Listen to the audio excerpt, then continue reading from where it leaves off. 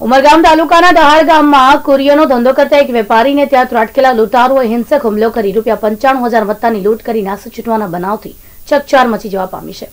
ઉમરગામના દહાડ ગામ ખાતે રહેતા અને પ્રોફેશનલ કુરિયર નામથી ધંધો કરતા રમેશભાઈ ચેરના બંગલામાં રાત્રે દરમિયાન ત્રાટકેલા લૂંટારુઓએ તેમના પર હિંસક હુમલો કરી અને આંખના ભાગે કોઈ કેમિકલ છાંટીને તેમને ધમકાવીને ઘરમાંથી રૂપિયા ત્રીસ હજારની રોકડ, સોનાના દાગીના મળી કુલ રૂપિયા પંચાણું હજારની મત્તા લૂંટી કરી નાસી છૂટ્યા હતા.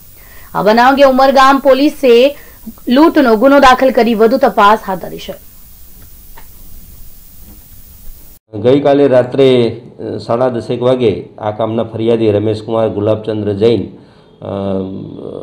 સાંજનું ભોજન લઈ અને સૂઈ ગયા હતા પોતાના બેડરૂમમાં અને એમણે એક ડોગી પાડેલી છે. એ ડોગી ભસતા એને શંકા ગઈ એટલે એમણે મેઇન દરવાજો ખોલી અને બહાર આવીને જોયું તો એક ઈસમ એમને સામે દેખાયો. એટલે એણે દોડી અને એ ઈસમને પકડી લીધો અને એનું નામ ઠામ પૂછ્યું.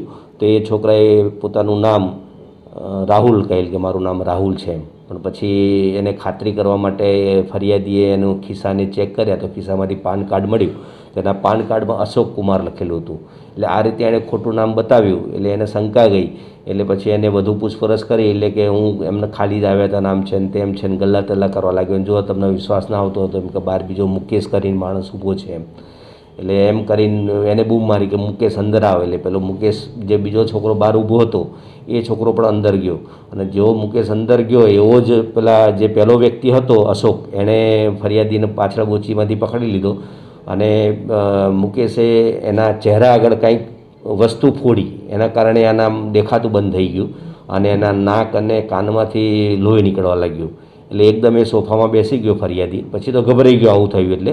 એટલે પછી એ સોફા પર બેસી ગયો, એટલે પેલા બંને માણસો પછી ઘરમાં ફેંદા ફેંદ કરવા લાગ્યા. અને પછી મારવાડી ભાષા બોલતા હતા, એટલે મારવાડી ભાષામાં એણે ફરિયાદીને પૂછ્યું કે પૈસા ક્યાં રાખ્યા છે ને એમને તેમને. એટલે આ પણ એણે ગભરાઈ ગયેલો, એણે કહી દીધું કે ભાઈ, ટીવીની બાજુમાં કબાટ છે, એમાં છે એમ.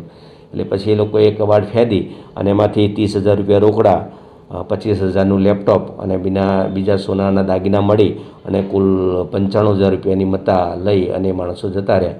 ત્યારબાદ આજુબાજુવાળા બૂમા બૂમ કરતા આજુબાજુવાળા આવી ગયા અને અમને ફરિયાદીને હરિયા હોસ્પિટલમાં લઈ ગયેલા.